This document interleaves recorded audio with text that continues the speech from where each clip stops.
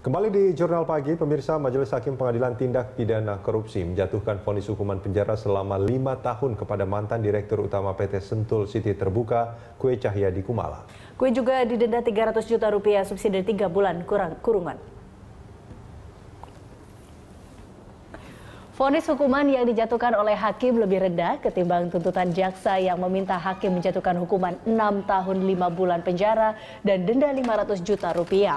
Vonis terhadap komisaris utama PT Bukit Jenggol Asri Kui Cahyadi lebih rendah dari tuntutan jaksa yaitu 6 tahun penjara, denda 500 juta rupiah, subsidi 5 bulan penjara.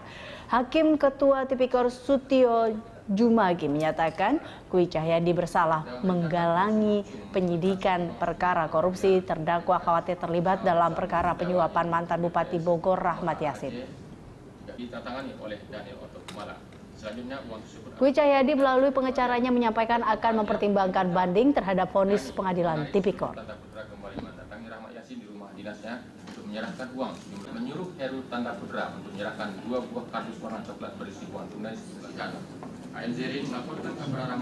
setelah pertemuan terdakwa dengan Bupati Bogor Rahmat Yasin telah memerintahkan untuk memberikan uang sejumlah 5 miliar kepada Bupati Bogor Rahmat Yasin lalu FX Johan Yap alias Johan.